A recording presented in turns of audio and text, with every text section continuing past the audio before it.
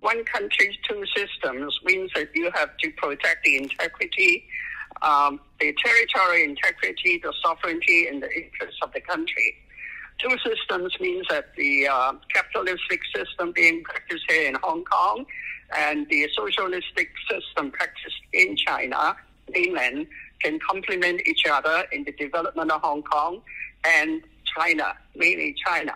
Mm. So what happens is you don't have uh, the patriots being the mainstream um, administrator and legislator in Hong Kong, uh, things can go wrong, like what happened between um, July 2019 and June 2020, mm-hmm. when we have what some describe as a failed uh, color revolution.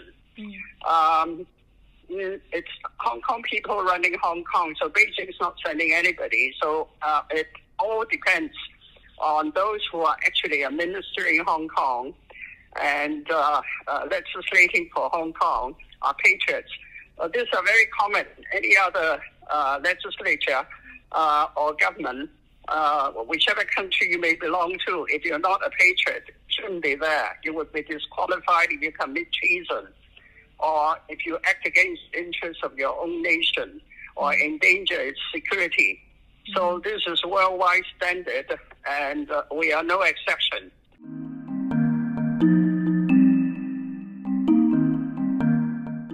Well, at the moment, uh, we have to rely on the oath, uh, which means that whoever holds public office in the executive, the legislature, and the judicial area uh, must pledge allegiance to the PRC and Hong Kong SAR and uphold the Hong Kong Basic Law.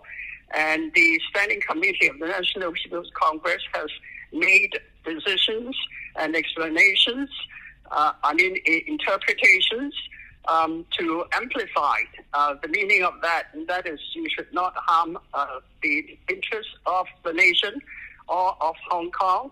And whoever uh, sort of acted against their own pledge of allegiance would be disqualified.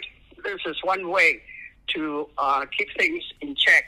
Mm-hmm. Uh, in respect of the uh, electoral system, we're working on it now.